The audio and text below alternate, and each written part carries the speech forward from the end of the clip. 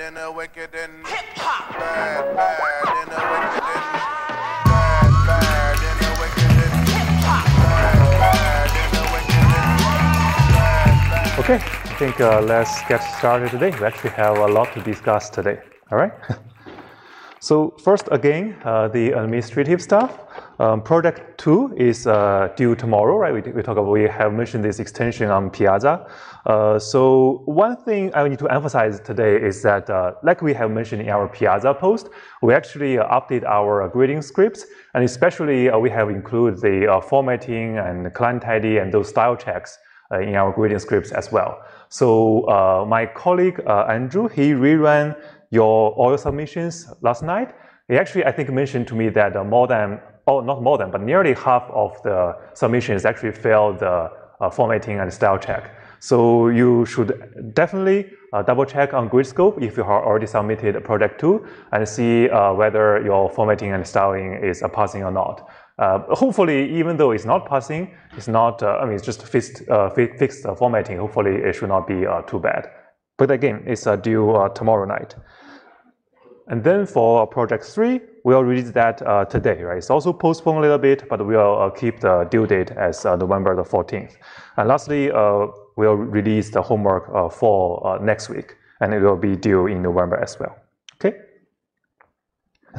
So I actually don't know whether we have advertised these talks in this class before, but essentially, I mean, our database group at CMU are also hosting database seminars every week where we just invite outside database practitioners from various companies, like either big companies or small startups, to talk about, I mean, database techniques, right, to work that, that, that they are building in the wild. So next week, the, our database seminar, and I've included a link in our slides, it's actually uh, from a startup called uh, Trino uh, that is like doing a kind of like a federated database engine, but actually essentially especially going to talk about uh, their optimizer and the challenges and their solutions that, that they faced uh, when they are building their optimizer. So it's actually very aligned with our topics, uh, these lectures. If you are interested, um, we could just check it out, how our query optimization theory would actually be applied or something would may even be, be broken uh, in practice. I'm pretty looking forward to that. All right. So that's the administrative stuff. Uh, in terms of the content today, uh, we are st just still going to uh, talk about uh, the query optimization and, and, planning technique in a database system. So again, this is arguably uh, the most uh, difficult part uh, of a database system. And then again, we have a lot to cover today actually. So just a little bit of recap. Last week, we talked about simple heuristics or rules that we can apply to rewrite our logical query operator trees, right? So that we can generate some preferred query plan as early as possible such that we can reduce the search space that we need to explore uh, during our uh, like, uh, plan enumeration or cost-based uh, search phase. And then today, we're going to uh, go deeper into the second part of cost-based page, cost-based search uh, phase so that we can enumerate more complicated query plans and generate better alternatives or, or like optimal, or potentially optimal alternatives. So again, there are two parts of this uh, cost-based query optimization process. The first part is that we need a cost model so that we can estimate uh, the uh, potential cost of executing a query plan without executing it, right, obviously. And the second part is that we are going to use that cost model as our guide in a search process so that we can uh, compare the cost and benefit of different alternatives or the query plans, and then uh, pick the better one, right? So it's cost model, and then there's a search process. And uh, today's agenda, last week we, I gave a little bit of heads up on the cost model, and today we are going to talk a little bit more about how we are going to uh, uh complete uh, this uh, cost model, and then I'm going to talk about the plan enumeration part as a second part of this lecture. So again, just a quick recap. For the cost model, we talk about three possible uh, components of the cost model. The first is that what would be uh, the factors that would affect the cost of a plan execution related to the hardware, so like a CPU, a disk, a memory, etc., etc.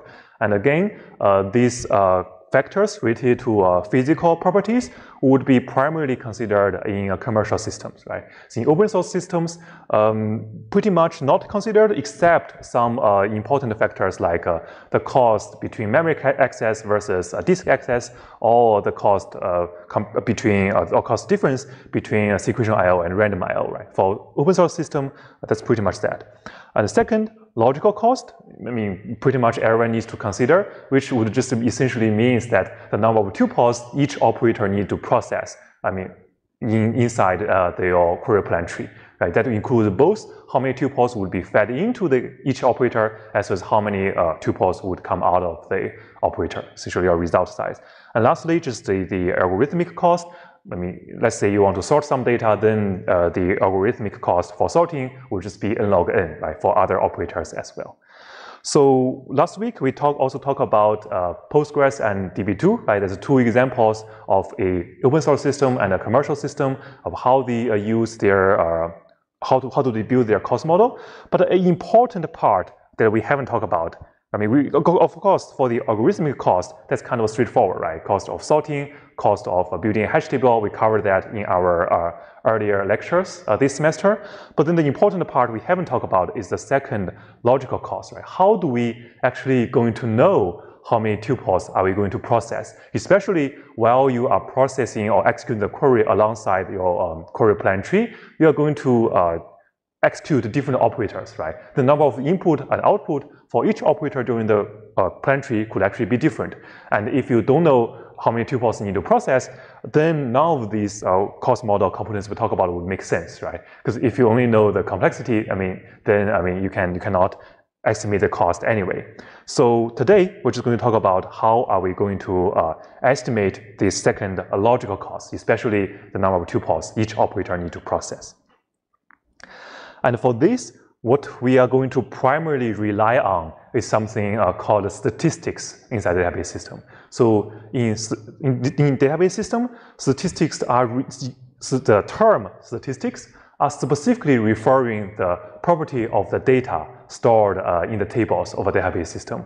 That could include uh, how many tuples in each table, or what would be the number of distinct values, etc., etc. right? So statistics is specifically refer to the data property in a database system. It could have other meanings uh, in other uh, uh topics right, or areas. So uh, one thing uh, is no, it should be remindful is that because I mean database may have a lots of tables, right? Each table may have a lots of attributes, etc., etc. It would oftentimes be costly to compute those statistics so what database system typically do is that instead of while or before you execute a query, calculate the statistic on fly, instead of doing that, your database system would actually have um, special commands right, that you can execute to calculate the statistics for all the tables and attributes uh, ahead of time and then store them in uh, its internal tables, right? These commands could be uh, I mean, the command itself could be different among different systems. Like in Postgres or SQLite, it's analyze. In SQL Server, it's update statistics, etc. But at the end of the day, they pretty much do the same same thing. It's just a pre-compute all the statistics you need um, to uh, guide the uh, cost estimation of the cost model. And the different system would actually handle uh, the invocation of this command to generate statistics a little bit differently. Um, most of the time, that actually is actually required from the users or database administrators to issue this command to the database system, right? At the best time uh, that the users or developers uh, deem uh, to be suitable. So, I mean, after you invoke this command, the system will generate the statistics and store it. But uh, in some systems, right, not, not that often, but in some cases, the system may uh, automatically generate the statistics uh, at, when the system workload, the workload volume is low right? Uh, I think, for example, Oracle, they may have an option to, I mean, automatic, uh, automatically generate statistics every night, like after 12 p.m. or 12 a.m. or something like that. Right? And some other system like a Piggy, uh, Postgres, it may actually uh, piggyback on uh, other background maintenance tasks uh, to generate the statistics. I mean, without even you notify them. But that's um, that's less common.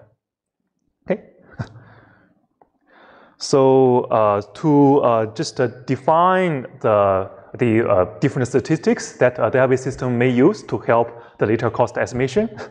Here in this slide, I'm going to uh, define the, the two most basic statistics first. I mean, then I mean, the first one is just uh, for every relation R, the database system will just maintain the number of tuples, right, in the relation R, and we denote that as uh, NR, right? That's very straightforward. How many tuples in the table? And the second is that what would be the number of distinct values for each attribute uh, in the table, right? Let's say the table has three attributes ABC, then we'll have V um, AR, VBR, and VCR, etc., to denote the number of distinct values uh, in each table. And again, that's the two most basic statistics, and we'll have other advanced statistics as well. I'd like to give you some high-level uh, examples of how useful this statistic would be. For example, the number of tuples, well, you may need that uh, to estimate the cost of a sequential scan, right? If you want to read the entire table, what will be the cost of that? You need that information to do the estimation. And for the number of distinct values, uh, for example, if your query has a select distinct, right, the number of distinct values will directly tell you, hey, what's the output size? Uh, well, assuming that there's no other predicates. Uh, but even uh, even uh, other than that, the, it, the, number of distinct values could also be uh, useful in the cases that you have a hash join operation right? Then you want to know what will possibly be the size of the hash table, etc., right? So this statistic may also help. Okay, we'll get into more details later, but right now I'll just give you a heads up. And then the next uh, derived statistics we are going to talk about is called selection cardinality. And this is just nothing more than you divide the number of tuples NR in a table by the number of distinct values, right? VAR if assuming uh, you are looking at a property or attribute A. So essentially, the statistic just represents the uh, average number of records with a given value uh, for an attribute. Right? Make sense? Just a, a simple division, and this is uh, a derived statistics. so uh, maybe you have already noticed that when we uh, calculate the, this average number of records for a given value of a given attribute this way, we are making a huge assumption here, right? We are just essentially assuming that the data is uniformly distributed. Uh, for every uh, single uh, value in this attribute, they all have the same number of records. And of course, this is not uh, in, in, practice, many data sets, uh, or probably most of the case, this is, this, is, this is not true, right? I mean, it's very rare that you have an exact uniform distribution. Um, but again, uh, just uh, to simplify uh, our calculation and to simplify our overall query optimization process, we are making uh, this assumption, right, to, to generate better query plans in time, right, instead of figuring some complicated relationship between different properties forever, right. And uh, again, like I give you a simple example, assuming that uh, there are 10,000 students, I mean, in, in, in, CMU, right? Assuming there are 10 different colleges, right? The actual number probably more than that. Then in this case, the uh, select, selection cardinality for uh, a each attribute uh, in this, uh, in this well, for the attribute college in our data set would just be a thousand, right? Assuming that each college have the same number of students. In actuality, this is probably not true, but that's the assumption that we're going to hold uh, in most cases to simplify our lives. Okay, so uh, loop back to what I talked about earlier, right? So the primary goal of these uh, statistics is to help calculate uh, the uh, logical cost uh, in our database system, right? So that eventually we can do a cost estimation in our uh, query optimization.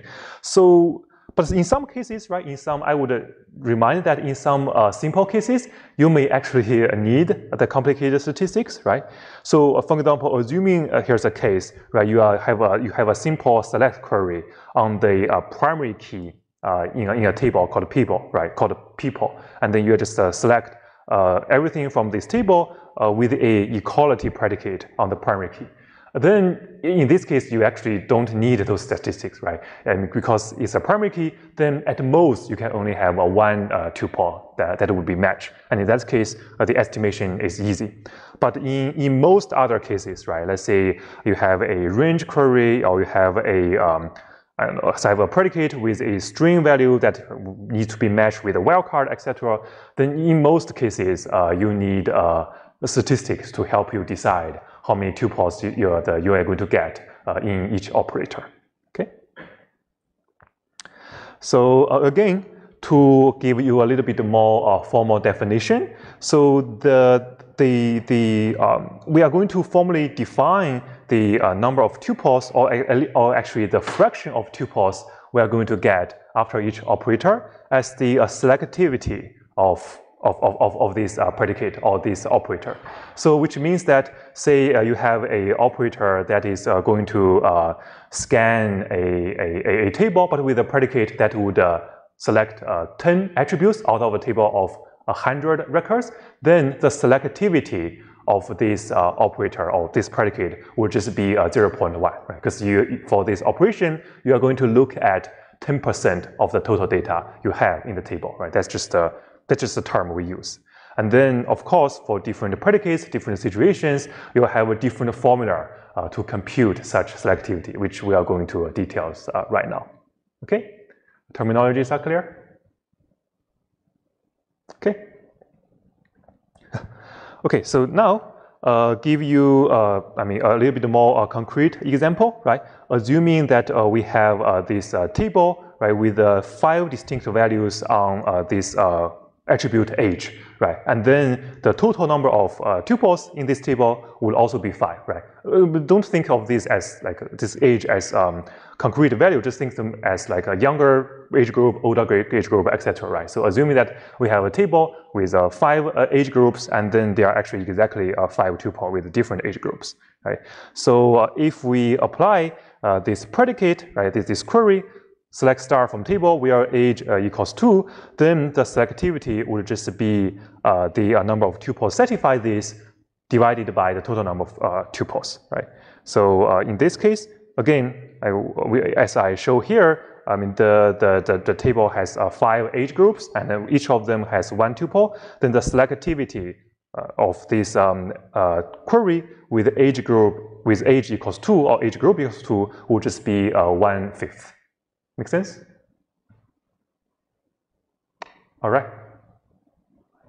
So to give you another example, right, let's say now we have a little bit more complex query, right? Instead of looking exactly at age group equals 2, we are looking at, hey, what if uh, I want to select tables with age greater than equal, greater or equal than 2, right? Then we'll just look at uh, these uh, three tuples in this query, and then uh, the selectivity of this uh, query, right, would just be uh, 3 divided by 5.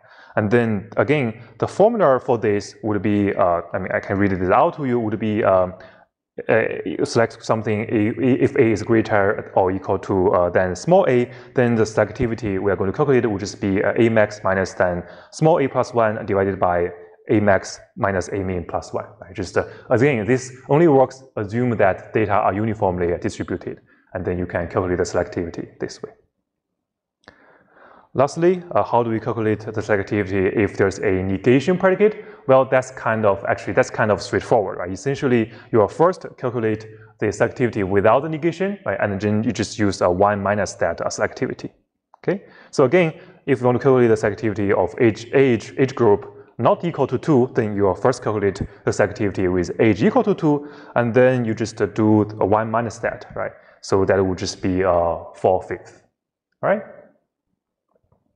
Does it all make sense? Okay. so one observation so far we can probably have is that the way we calculate these activities is essentially similar to uh, what we learned from uh, basic statistics or probability uh, theory. Right? Essentially, we're just looking at, hey, what is the probability that a certain tuple is going to be certified, satisfy my predicate in this table, right? So with that observation, we can actually borrow many uh, similar concepts from uh, statistics 101 or probabilistic theory that help us to calculate uh, these, uh, these uh, selectivities, especially with the more complicated uh, predicates, okay? So here, for example, assuming that we have a conjunction predicate now, right? So not only, I mean, not, not only that we could look at a single predicate, look at even one attribute, look at only one attribute with a, with a property. Now, let's say we are looking at, we're trying to figure, figure out the selectivity for a predicate with a P1 uh, conjunction by P2, right? So again, assuming that the predicates, predicates are independent, right, which is another assumption we made to simplify our life, then using the uh, basic uh, statistical uh, uh, I mean, technique, we can just uh, simply multiply multiply the selectivity of these proof predicates together, right, to to to be the selectivity estimation of this conjunction predicate. I mean, this is a, just a recurring thing that we are making uh, many assumptions that could just break in practice. But again, for to make the query optimization problem tractable and efficient so that you can generate a query plan in time instead of taking forever, uh, we are making these assumptions just as a trade-off. Okay, yeah, this is essentially you've timed that, and then the, this part, it would be the selectivity for the uh, conjunction predicate. Then for disjunction, and, uh, and, again, I probably won't uh, repeat uh, this, uh, this recurring here, but essentially uh, you're just uh, going to treat it as the, well, it, it, essentially that's how you calculate the OR operation in a predicate, right? So again, I, I assume this is like a master level slash upper level undergrad course, I'll just skip the equation here. All right. So uh, next, with this uh, ability to uh, calculate the selectivity of the number of tuples for a predicates with a basic scan, so what other information we need uh, to calculate uh, or to estimate the cost of a query? Well, there are many queries would, con would contain multiple relations and which essentially would contain a join operator, right? So uh, in this case, we need to operate how many tuples would come out from a join operation. And essentially, in other words, the question is that for a given uh, tuple in a relation R, right, assume that we are join, joining R and S, then for a given tuple in a relation R, how many tuples of the other relation S will find it to be uh, matched.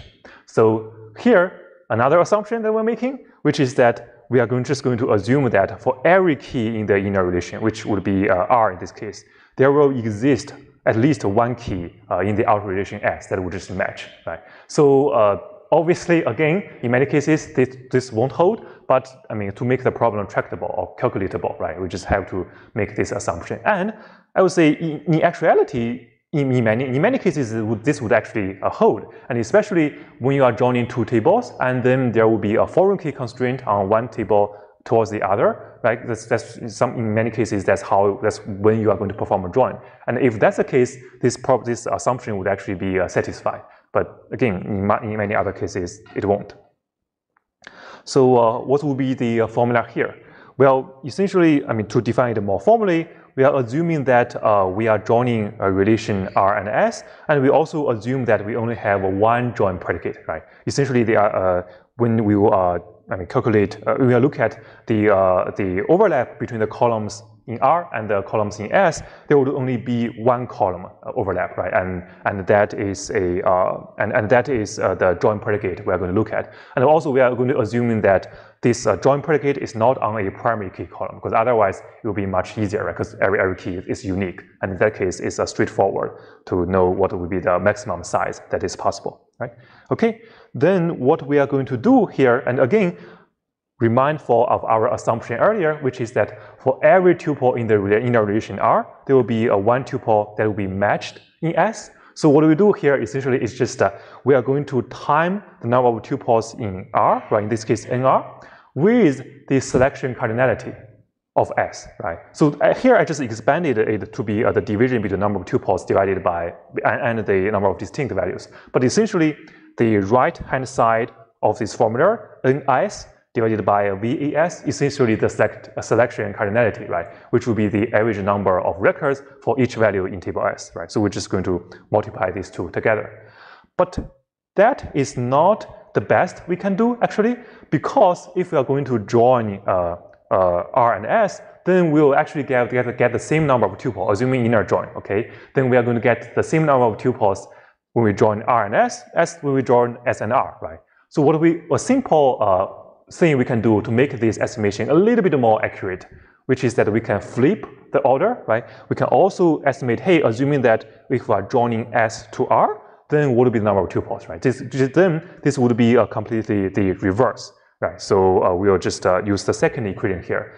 And then, I mean, for, since, I mean, these uh, two join, right, they are symmetric, they will have the same number of tuples, then uh, for this uh, join operation, it can have at most, I mean, it, it cannot have multiples than the estimation of, uh, of, of one of these estimations, right? So uh, essentially, we are just going to uh, divide uh, this uh, uh, multiplication by the maximum number of distinct values in each table, right? So essentially, in other words, we're taking a minimum on the two estimations as the final estimation on this join operation. Okay, does this make sense? Any questions for estimating join select selectivity? All make sense? Okay, sounds good. To recap the, uh, all the assumptions we have made, right? The first, we have made the assumption that the data is uniform such that we can estimate the uh, selection cardinality, which means that the average number of records of uh, each tuple, right? Because otherwise we cannot estimate that. The second, when we calculate uh, the selectivity for uh, sequential scans or index scan, right? Same thing. But for scans with predicates, we are going to assume that different clauses in these predicates are independent, right? So that we can use a probabilistic theory to directly times them together as the estimation. And then lastly, when we are calculating the uh, selectivity for joins, we are assuming this uh, inclusion principle, which means that for every tuple in the inner table, sorry, inner join, inner relation, we're going to find a match in the outer relation.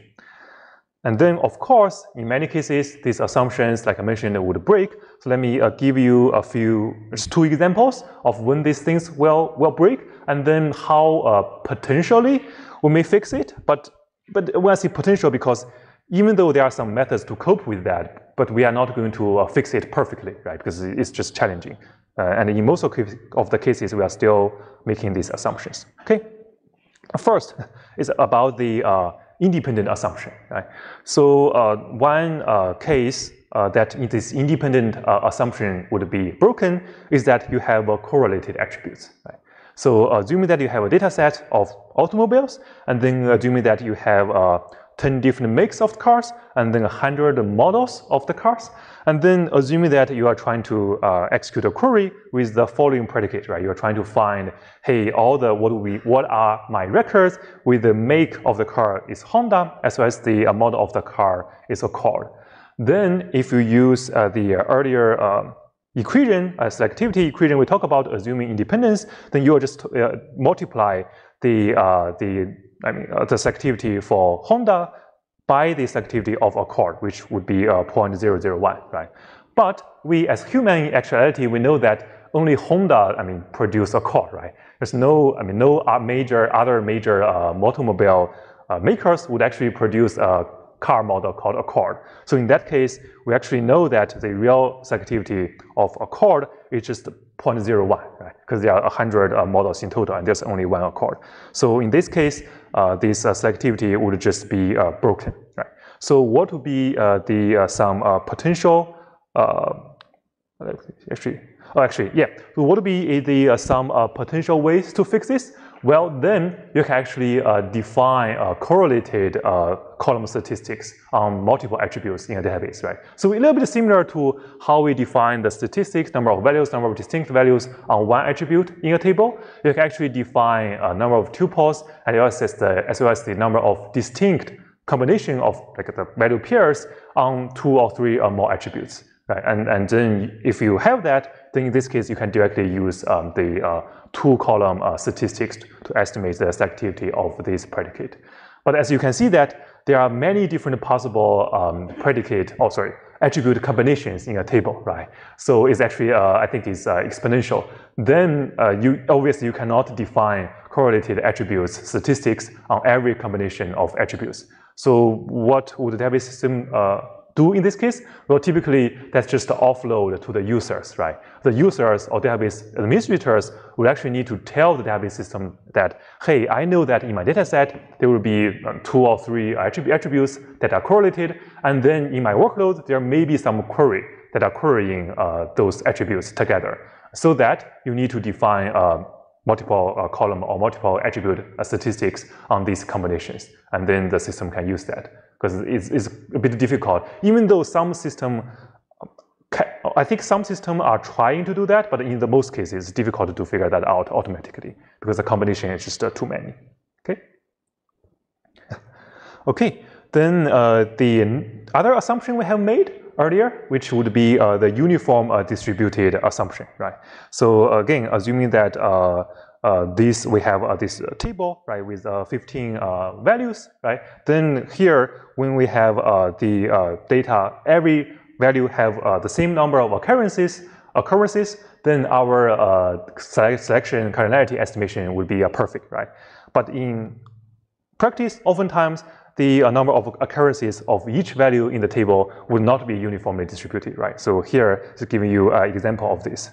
and, and in this case, one simple thing we can do is that, or naive thing we can do is that instead of uh, recording the average, I mean, the total number of distinct values or the one number uh, called a selection cardinality, a naive thing is just to record the occurrence of each single value, right?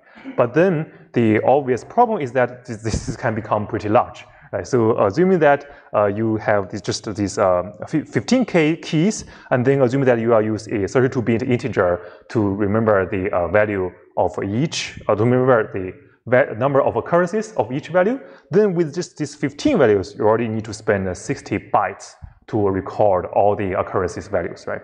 Then assuming that you have a table, right? In this area, I mean, it's, it's not that uncommon to have a table, a super large table with um, with a billions of rows, right? So assuming that you have a table with a billion row, then 32 bits uh, per, per, per value or per row would just be end up to be uh, four gigabytes of data, right? For a table with a billion values. So uh, assuming that the table may have, I don't know, tens or even more than 100 attributes, then that's just an overhead that is uh, not affordable. So to be a little bit smarter, right? To be a little bit, if we want to estimate uh, the number of values for each attribute or occurrences uh, for each value uh, in the attributes more accurately, accurately, but then we don't want to pay this huge overhead. One thing that a little bit smarter we can do is that instead of keep track of the occurrence of each single value, we can track the occurrence of multiple values together to amortize the cost, right? So in other words, um, that's the standard term uh, for this kind of uh, data structure to track these values will be called histogram. So here, I mean, very simple. Here, assuming that we are going to uh, track the occurrence of every three values together, right? In this case, we'll just, uh, I mean, the standard term uh, for these um, groups of values would be called a bucket, and each bucket would just have a range of three.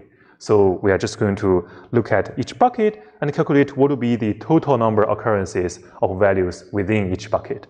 And then when we need to uh, calculate the uh, number of uh, occurrence of a particular value, we're just going to first locate which bucket it exists, and then we're just going to divide by the um, value recorded for that bucket by the number of, I mean, uh, for some number of elements uh, in that bucket. Right? For example, here in this case, uh, if we look at the last bu bucket, uh, if we want to say calculate uh, the number of um, occurrences for the value 14, then we are just going to divide the count 14, right, by the total number of elements 3 in this bucket. That would be um, almost 5, right? And this would be uh, less costly, but of course it's going to be uh, less accurate because I mean the uh, number of occurrences of all the values in this bucket may still be different, right? Here, if we go back to the earlier example, the uh, the number of uh, occurrences for 14 would probably be uh, correct, right? But then for 13 or 15, it's actually incorrect, right? So uh, for example, for 15, the, the number of occurrences is almost 10, but we are still going to estimate to be uh, just a little bit below 5. So in this case, an um, optimization uh, you can do here is that instead of uh, divide this uh, total amount of values into buckets by uh, just the number of number of values, I mean you are going to count, what we can do is that we can group these values based on the number of occurrences, right? So essentially what we are trying to do here is that we are trying to divide uh, these values into buckets such that the total number of occurrences in each bucket will be uh, almost the same, right? So in this case, uh, we are hoping that there will be a less difference in the uh, number of occurrences of values in each bucket, and then uh, the value would be a little bit more accurate, right? So here, in this case, instead of uh, have the um, every bucket to be uh, covering uh, three elements that will be called uh, equal uh, width earlier, right? We are here, we are doing that for every bucket, we are, they are going to cover roughly uh, 10 occurrences, right? And, and this could have a uh, I mean, different number of values actually in each bucket. Then that's, in this case, the histogram will be called equal uh, depth histogram. And to take our earlier example, uh, that we have looked at. In this case, if we look at the last bucket, right, then the number of total occurrences in this bucket would be a 14, uh, sorry, would be a 12, but then there would only be two elements in this bucket, right? So in this case, we are just going to estimate the uh, number of occurrence for both 14 and 15 as 6, right? Which is, um, I mean, a little bit more accurate than what we uh, have before, especially for the value 15. Okay, so this will be uh, again showing you the number of uh, values in each uh, in each um, bucket. Okay, that's the uh, two optimization uh, we uh, talk about that potentially deal with the assumptions that may break earlier. Any questions so far? Yes, please. So if you do the histogram method, how does that affect the calculation of how many tuples will match in a join? yes, so the histogram calculation usually don't directly uh, affect the number of uh, tuples when we calculate that for the join. So usually uh, where this histogram would be uh, useful is on the predicates, right? So either you have a I mean, equi-predicate, right, like I discussed earlier, or you have a range predicate it will use. So for joins, typically it's still the, the same equation, right, right, yeah. Okay, so uh, I will talk about most of the uh, common approaches uh, to uh, maintain statistics for the attributes in the table. Right, there are there are simple ones like um, number of tuples, distinct values, and the histogram would be a little bit uh, more complex, but then still uh, used in some systems. Uh, now I'm just going to talk about some uh, less common ones, right? So the ones I talked about earlier, they are more like straightforward to compute, uh, easier to maintain. And for example, the Postgres used uh, just used the histogram uh, one, as far as I remember, right? For the later ones, uh, including the sketches as well as a sample technique I will talk about, these are a little bit more complex, right? Require more cost to um, calculate it, to, to generate it, as well as require some overhead to maintain it as well right? So, and, and when you're trying to use them, uh, it may also be a little bit more costly than the straightforward I mean, formula we talked about earlier. So uh, these two techniques would be less common, but you know, somebody, uh, some, some people would use it uh, if that's, su that's suitable for their, for, their, uh, for their goal. And the first I'm going to talk about here is called uh, sketches. So I don't know whether Andrew has covered a Bloom filter earlier in the semester, but yeah, if he covered, it's essentially a very similar thing right? Bloom filter, you have a probabilistic data structure to identify whether a value exists, I mean, in your data set. Here, again, you are just going to use a, a probabilistic data structure. Actually, some implementation would have uh, would share similar intuition as well, but but again, it's a, probabilistic data structure that, that you can maintain uh, that uh, to estimate the occurrence of each individual value. And since it's a probabilistic structure, and obviously you can imagine that there will be a trade-off between how big this data structure is versus how accurate the estimation uh, can, can be, right? So there's a trade-off. Either the developers or the users uh, have to uh, balance.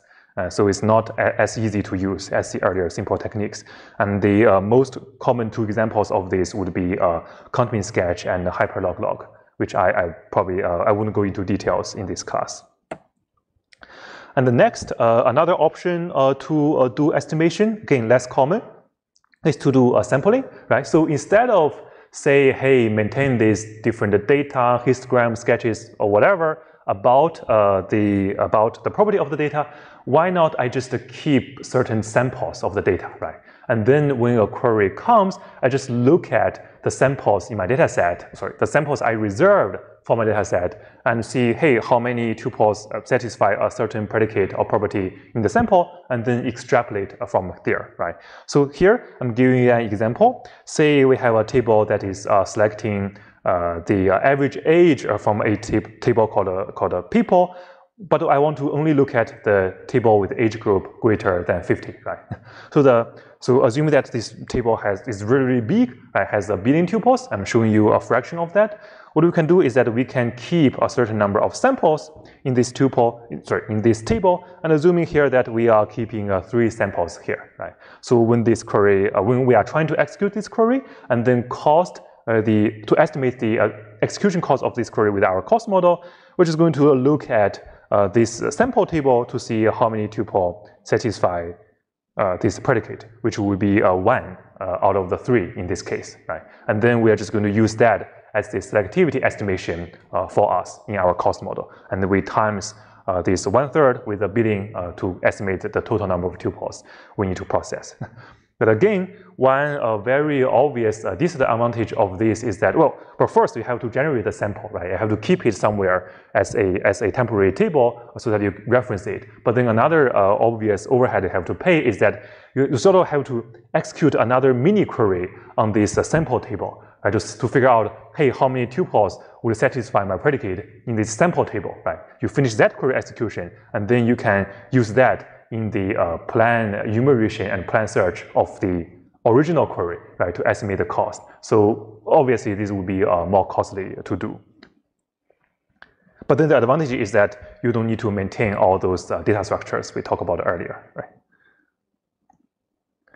So the uh, now we talk about all these um, techniques, right? We can do to calculate the selectivity, number of tuples need to process, etc., etc., to feed in our cost model to calculate uh, our uh, to calculate the cost to execute a particular query plan. Now I'm just going to talk about how we're actually going to uh, use this cost model in the plan search process, right? To figure out what would be the uh, better plan to execute a particular query. So before I dive into that, any uh, questions so far about the statistics and the tuple selectivity estimation, etc., or cost model, right? No question? Okay, cool. Then uh, for the remaining half an hour or so, we're going to talk about the uh, last piece of query optimization, which is to, to uh, search over alternative query plans and then use cost model to estimate their cost and then figure out what the best plan would be. so, uh, I mean, generally, uh, there are three, uh, well, three categories of search that I uh, that we can roughly uh, group uh, this domain into. The first would be the search over a query that is only operates on a single relation, right? So the search for alternative plan there would actually be rather straightforward. you can we can still use some heuristics to uh, to uh, generate alternative query plan and then cost them, and without a um, exhaustive uh, like a super complicated search framework, right? That's for a single relation. And then the second uh, category would be uh, called multiple relations, which is really, which means that uh, queries uh, with joins involved, right? Whether it's like two-way, three-way, or multi or more way uh, of joins. So for that, we actually typically need a uh, more involved search mechanism or principal search me mechanism to help us compare alternatives. Because for those queries, the number of possible alternatives would just be too big. If you do it naively, you can, it, it can take forever. I mentioned, a number of the possible number of uh, plans for n-way join, join I think is uh, two, 4 to the power of n, right? It's actually exponential. And the last category is called the nested subqueries, which we uh, are not going to talk aloud here today, but I just want to mention that for this uh, third type of nested queries, what we usually do is actually what we talked about earlier, uh, like in, in the last class, we will actually typically look at First, whether we can expand the nested queries, right, to unroll it or flatten it to a join, and then we'll just treat it the same way as the second category, or we'll just uh, leave, I mean, if possible, we can also try to lift it up, right, to a separate query. Then we don't need to consider the nested queries uh, together either. And in the worst case, we just have to uh, execute the inner query over and over again uh, for everything uh, from the uh, outer query. Right, but uh, that's that's all we are going to cover or talk about the nested query today. So today we are going to more focus on the single relation as well as the uh, multiple relation. Okay. So uh, first, like I mentioned, for the uh, single relation, the the things to do there are are not that complex, if you will, right? It's like some, oftentimes you can just use uh, simple rules or heuristics to generate alternative query plans as well. Uh, but note that the, uh, the alternatives we are generating, or we are saying simple heuristics, is actually different from the heuristics we talked about last time to generate a logical query optimization, to, to rewrite the query or optimize the query at logical level, right? For, because last in the last class, when we talk about logical query right, the, uh, the rules will directly rewrite the query uh, without even considering the cost estimation, data probability, etc., etc. right? Here, when we say we use simple heuristics to uh, search over different alternatives, we are generating alternatives using heuristics, but we are still going to cost it, right, using our cost model, and then compare the cost of alternatives instead of directly rewrite a query plan to a specific form. So in this uh, single relation case, uh, most of the time it's just uh, look at access method actually, right? Either whether you directly use a sequential scan or sometimes you may use a binary search and say you have a clustered index on the relation or I mean, if you have an index on the relation, of course, there's also the alternative of a index scan, right? So here for single relation, our search process will just generate alternative query plans with these uh, different access methods.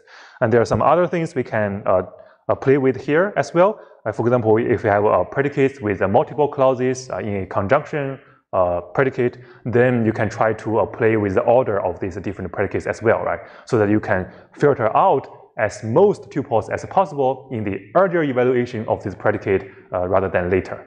But that's that's pretty much uh, you can you that's pretty much the, the more important thing uh, you can do uh, or you need to do for a single relational query. And usually these queries would come from OLTP workloads, right? Uh, where uh, you just uh, either just insert a tuple into your table or just look at a specific record or update it, right? Instead of like complex analytical query that would typically involve uh, multiple relations. so for these simple queries, especially single relational queries show up in OLTP workloads, that's actually a term for them, which is called a sargable, right? Which is a abbreviation of a search argument uh, able, which in other words, just means that uh, for these queries, usually there could be a uh, index that can help accelerate the uh, search of this query, right? So uh, um, like again, like a, a, simple relational, a single relational query where you just look at, hey, what would be uh, the um, will be the, uh, the, the, the, the, people in, the, in this data set that certify a particular age group, then if you build an index on the age group, uh, then this query would uh, very likely to be executed uh, in a very efficient way already, right? So that would be considered a, a sargable query, and it's not very uh, difficult to optimize those queries and with simple heuristics. Okay. oh, actually, for these queries, uh, sometimes uh, there could be a join queries that's still considered sargable, but again, uh, usually these are simple join queries that have a specific form, right? For example, you have a join query, but then it's just a two-way join where you have a, a, foreign key constraint on the two tables, right? And in this case, and you can just use the uh, foreign key index to accelerate the uh, join of this query. And then this are also this is also very easy to optimize and to generate uh, a, a, good query, plan for this query. So that would also be considered a uh, simple sargable query. Okay. Now here, yeah, there's like an example I talked about earlier. You stack star from this uh, table people where on a specific predicate, right? In this case would be ID, and then you can just uh, directly use the primary index uh, to do the to execute this query. Okay. Any uh, question on the single relational query or this uh, simple sargable query?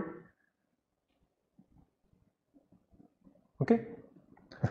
now we talk about get to the uh, more uh, complicated or advanced stuff here, right? What if you have a, a multi-relational query? So uh, in this case, the uh, most challenging thing, I mean, you can think, of, you can probably think of uh, in terms of figuring out what would be the good query plan for a multi-relational query, it's just what would the join order should be, right? That's probably uh, the things that you have uh, more, the most alternative, and then search space make the search space big. Uh, and usually, I mean, the search space will be exponential, like I mentioned. So what we need to do here is that we first uh, need to restrict the search space a little bit. Otherwise, it's just going to uh, take forever.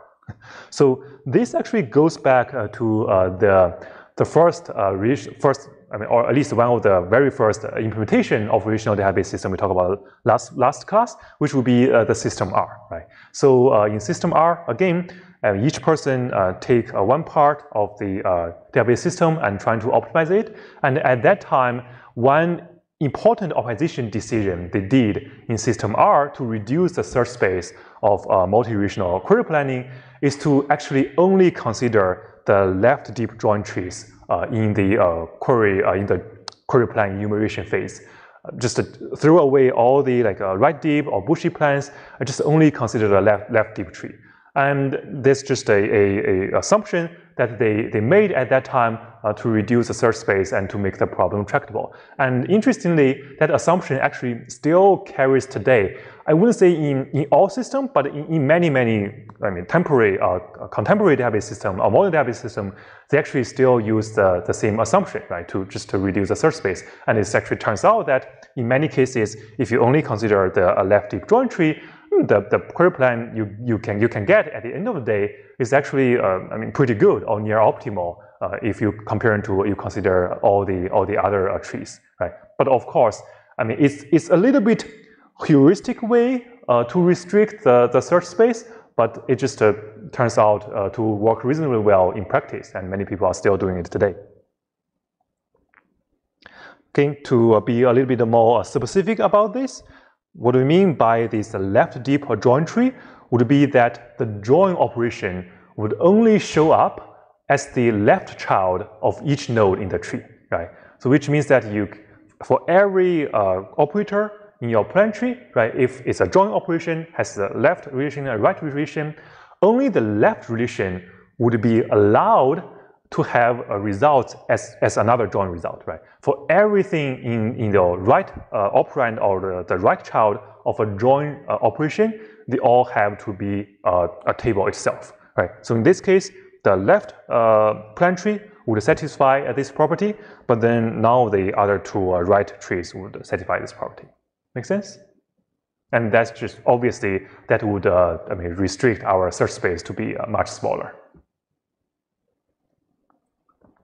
Okay, so besides, I mean, re re restrict the search space, there's actually uh, one uh, interesting uh, advantage that matters uh, more or more that like, that like yeah that matters more back then uh, than right now, which is that with this uh, left deep tree approach, it's actually much easier to pipeline the query execution, which essentially means that while you are executing this query with a multi-way join, you actually don't need to uh, materialize the uh, join result in a temporary table or write that back to the disk uh, during the join, right? Because every time when you have a join, the uh, temporary result coming out of a join operation will just be immediately, I mean, joined. If, there are more joins, would just that temporary join result will just be immediately joined with another uh, uh, base table, right?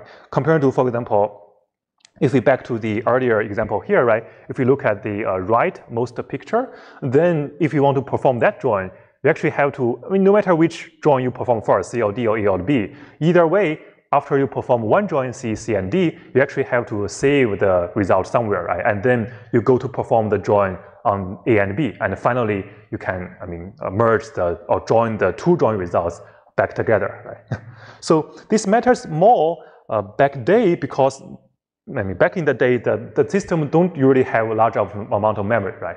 So in the case that if you perform one join, uh, you have some uh, temporary join result, right, just for the two relation. But then if the join result is big, you actually have to write that back to the disk, right, to save it. And then you perform the other join. And then once that's done, you actually have to load the result from disk back to memory and then put them back together, right? So uh, again, for modern systems, uh, this is in some cases or in many cases, this is not that big a concern anymore. Uh, but in case the, the memory, uh, uh, the amount of available memory in your system is low, then with the left deep tree, also, it also has the advantage that uh, you don't have to materialize the temporary result of join operations, so that you can just uh, pipeline all your uh, query execution.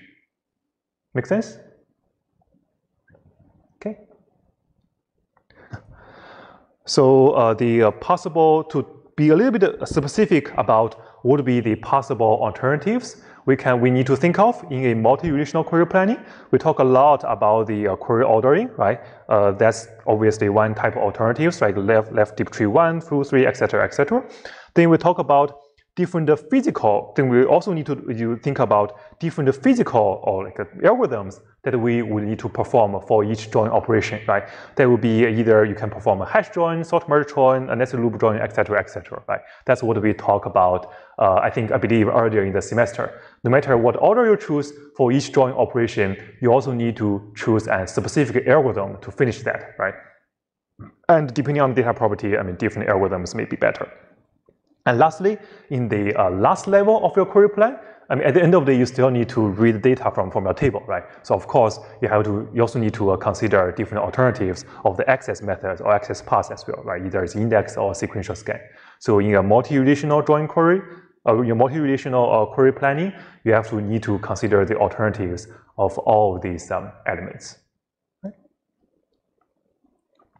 So uh, to uh, again to reduce to, to make this search process uh, efficient, we are going to uh, leverage a technique called dynamic programming, right, to help us to uh, perform this query optimization process. And I, I, think many of you probably have learned dynamic programming uh, in your, uh, I mean, either undergrad or like earlier algorithm classes, etc. Uh, but essentially, another, if you haven't heard the term, another way to look at this is just that you are going to perform a memorized search, right? So you don't need to uh, search over uh, duplicated or to enumerate duplicated uh, query plans over and over again. You want to reduce the number of possible possible alternatives you need to consider as much as possible, and also uh, trying to uh, remove the um, obvious uh, less optimal choices right, during your search process. So I will give you a specific example here.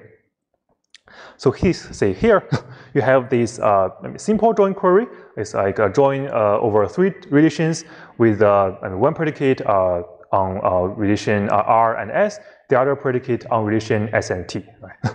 so here I'm illustrating the uh, I mean a subset of the uh, possible nodes uh, in your search process or possible alternatives, and assuming that we are starting from the left, right, RST individually, we don't know who is going to join who first with what method, and we are trying to trying to figure out the best way to reach the uh, right side of this slide, right? It would essentially be uh, the join result of the of the three relations. And here I want to uh, mention that for all the nodes I'm joining here, I'm actually uh, joining them as a uh, relational algebra equivalent. Uh, you use them to represent the result uh, for the uh, equivalent queries under a relational algebra equivalence, right? So it's essentially the right node R join S join T is what we eventually want to figure out how do we perform the best but it doesn't necessarily to be, I mean, the order as showed up here, right? We're just trying, to figure out would be the best way to get the result, join result of these relations. But it could be S join R first and then join T later, etc., etc. But uh, uh, we, we use the same node to represent uh, this end result. Okay, so we start from the left. We don't know uh, what I mean, order we are going to perform. So here, as you see here, there are two possible alternatives, right? I mean, because there are two different predicates, you can either uh, join R and S first, or you can join T and S first, right? So these are the join order alternatives. But furthermore, you can also have uh, different alternatives uh, to uh, for your for your join algorithm, right? So here, as illustrated, for each of these um, two choices to join which first, you can either use a hash join or sort merge join, right? For example, and then after that, you have, so here, for simplicity, I ignore the access path for now, right? But in actuality, there's also a choice of access methods. So here, we can just use uh, the uh, cost model we talked about earlier in the class, right? With the statistics, etc., to estimate the tuple numbers. So we can estimate the cost of each of these um, operations so far, right? And then say, hey, this is the cost distribution. And then we just at this point, right, since we are doing dynamic programming, we can already eliminate the uh, less obvious, uh, sorry, less optimal choices.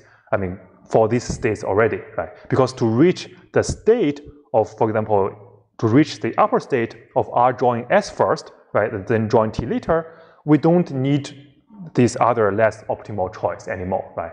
Because to reach that state, there are different choices, but then there's only one optimal choice at least according to our cost mission, to reach that intermediate state, right? We, and we only need to save that.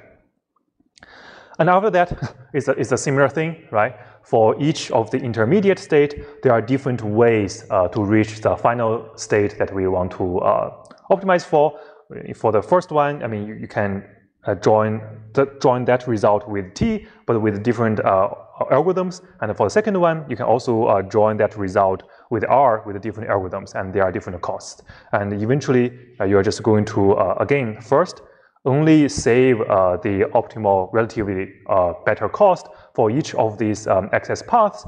And then after everything is done, right, you're just uh, going to look back from the final state and to see, hey, what would be the um, best way to work from to walk from start to end and to execute this query, right? That would just be to first uh, join TNS with hash join and then uh, join R later with a sort merge join.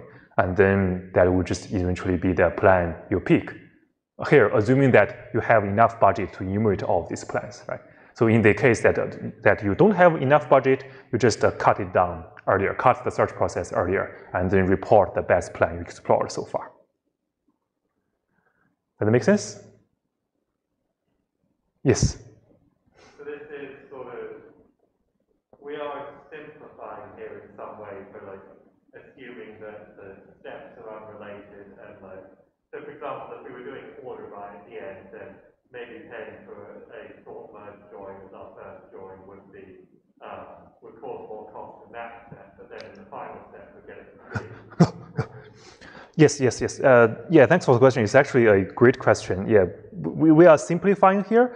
So here by, by state, I'm only like showing you which query has been joined so far, which has not. But in actuality, it's actually much more complex than that. I also mentioned that, but, but, but yeah, I don't have a slides for that, but essentially for each of these intermediate state, it could also include the property of the tuples you get, right? So for example, here in the intermediate state, T join S first, right, and then join R later, you can also include whether uh, this intermediate state already have data sorted or not, right? And then you, that's one state, and you have a different state with data not sorted. And you have different ways to access those state with different costs. And then that will have different costs to transition to the final states, right? Yeah, it's a great question. Okay. so uh, to uh, is this uh, to, here? I just give you uh, want to uh, show the. It's the same example actually, but I just want to show it a little bit more specifically to give you a little bit better understanding. It's almost a, a reiterate on what would be the factors we are going to consider in this join enumeration. Again, the first would be the different ordering of these joins. The second would be the what would be the algorithm choices right, for, uh, for each of the join. And the last would be the, what is the access method you use, right?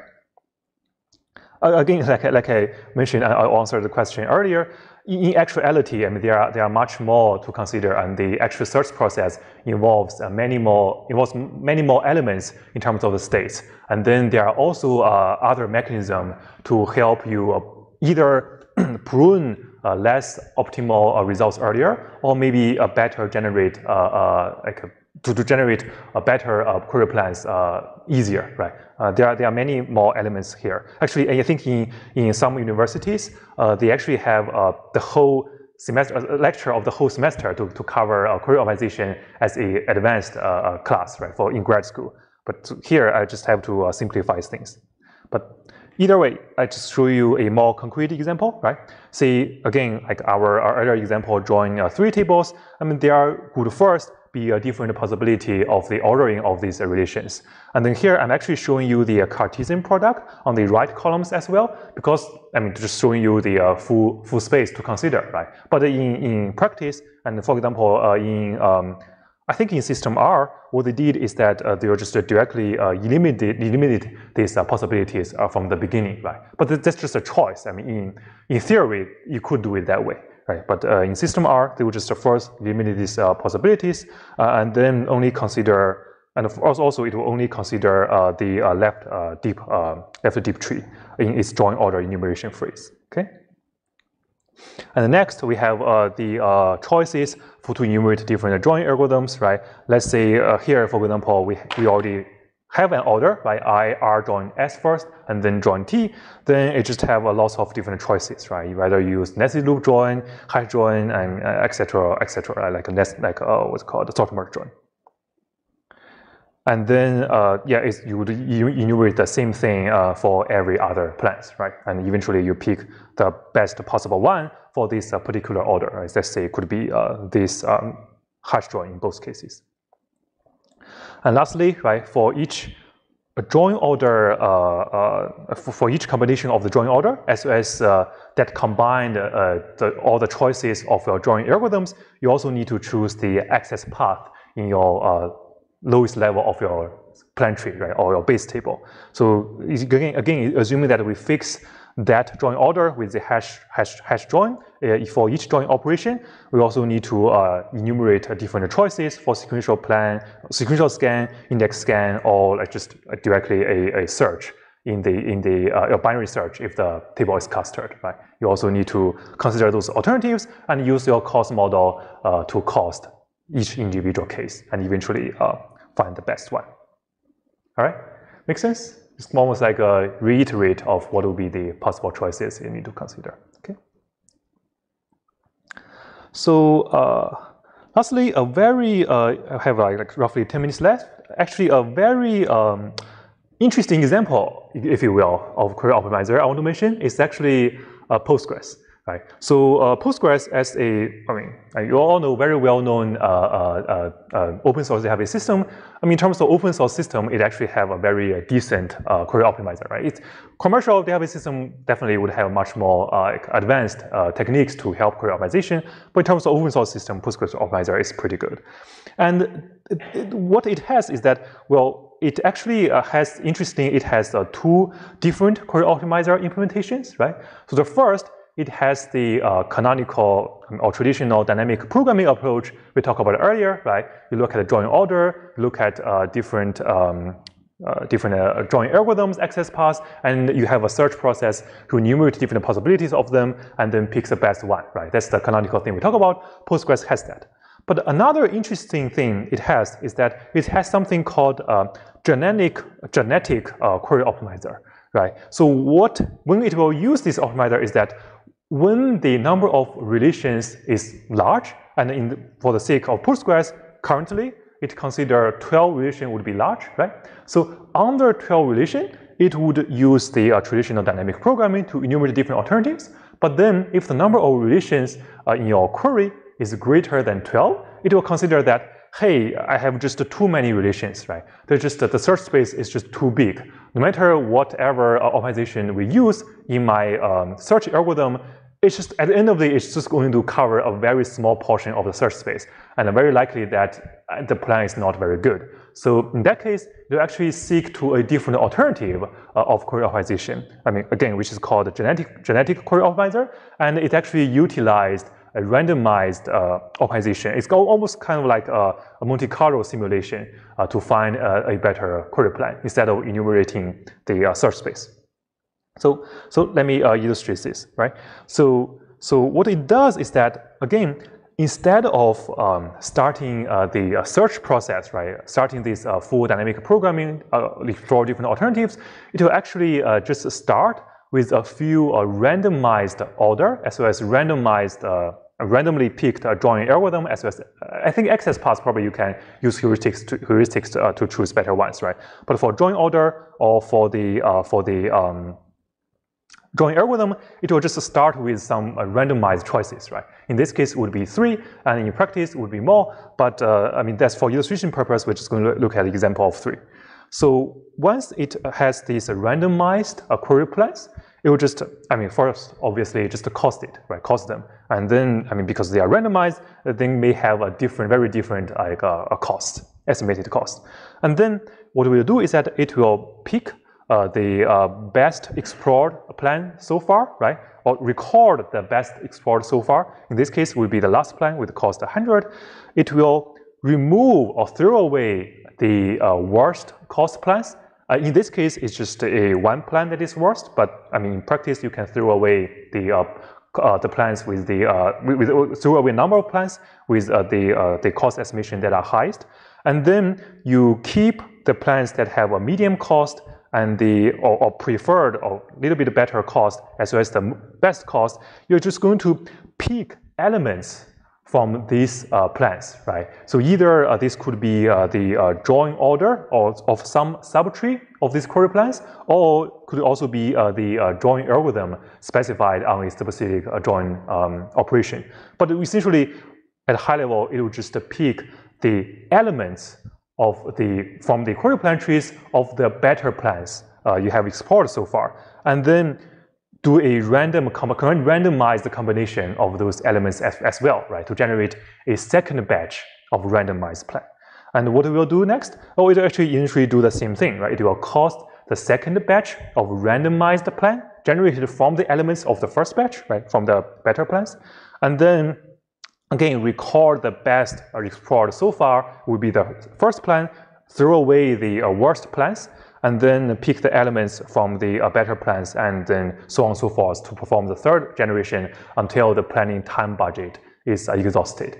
So what, why is called genetic here, right? So essentially what this, this is doing is that it's kind of like a, mimicking a evolution process of, of, of, the genes, right? So for every batch, right, you just, uh, some of the bad genes, right, which here would be the bad plants, will just be eliminated or thrown away, right? And then of course you record the best genes so far. But for the better genes, since, I mean, we don't really know, it's not a formal search process, right? We don't really know, hey, whether it's this join order make this query plan very big or whether it's a sorry whether whether it's a join order to make this query plan very efficient or maybe it's, it's because of a specific choice of the join algorithm that makes the query plan very, very efficient. We just don't know, right? We just know, hey, this plan seems good. So what we do is just like we just pick the elements of the genes from the survivor ones and then reorder them right, to combine them together. And also there will be a little bit of randomization, right? It's kind of like the uh, evolving process. And then eventually uh, after batches and batches, or here it's called generations, after generations, hopefully uh, your gene can evolve to be uh, better and better, or even optimal, right? So that's how they deal with the case where the search space is too big. Uh, they just deem that the uh, normal plan enumeration and search process probably just are not going to generate or to enumerate a, la a, large enough portion of the search space. And so they just resolve this me randomized method to find um, potentially a better plan. All right? That makes sense? Okay. So uh, just uh, wrap this thing up, right? So uh, today we talk uh, cover a lot about uh, query optimization, right? So we first talk about uh, filtering. We, I mean, just actually some of them is from the last class where we talk about uh, we always want to uh, push down the predicate as low as the uh, query plan tree as possible so that we can eliminate the unnecessary tuples as early as possible, right? In today's lecture, I also mentioned a little bit about when you are trying to uh, look at the predicates, estimate the selectivity of each clause in the predicate, you can also leverage that information to reorder the predicate a little bit so that you can evaluate a predicate with as low, uh, with lower selectivity earlier uh, to filter out more tuples uh, in your selective, your predicate evaluation process, right? We talk about uh, how do we estimate uh, the uh, selectivity of query plans. I mean, especially we talk about three assumptions that we made to just make our lives easier, right? There will be a uniform distribution, also different attributes are independent, as well as for joins, we just assume that, generally we just assume that the joins are, are inclusive. And then we also talk about the alternatives to um, to cope with some of the assumption uh, that doesn't really satisfy in practice, right? For example, there could be a histogram and also uh, sketches. I didn't really um, wrote it here. I will also talk a little bit about how we uh, first calculate the join selectivity. We also talk about um, how do we use uh, dynamic programming or this genetic method to explore different alternatives of the join ordering uh, to eventually uh, generate better plan as the or as the query optimization result. Again, uh, the last note I want to say that is, or emphasize again, uh, is that query optimization is pretty difficult. Like an earlier question mentioned in the class, there are actually many more properties in the plan enumeration and, and many more techniques to prune the search space to generate potentially better plans, etc. That uh, just uh, for the sake of time, in the scope of this class, that's just all we can cover uh, so far. All right. So uh, next class, we'll just uh, switch the topic to the transactions. So if the optimizer is arguably the most difficult part of the database system, then the transactions would be just be arguably the second most difficult part. All right. See you next week. Thank you. Uh, sorry, a great question? Oh, argue is, is like based in my opinion, right? The the first uh, the large, the, well, the most hard part of the system is probably what we just talked about in these two weeks, query optimization, but even though there are many topics we, we haven't explored, right? Uh, but then the second difficult part is probably just uh, transactions, how to deal with uh, concurrent queries and make sure that uh, they can access the database uh, get the results correctly. Yeah.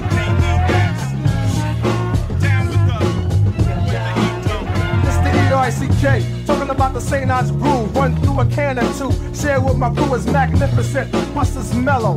And for the rest of the commercial, I pass the mic on to my No need for a mic check, bust it. The P's all set, then grab a 40. The Prim New York and snap his neck. Say nine. Take a sip, then wipe your lips. Cue my 40's getting warm. I'm out, he got the dip. Drink it, drink it, drink it, then I burp. After I slurp, Ice Cube, I put in much work. With the BMD and the E trouble, get us a St. Ides brew on the double.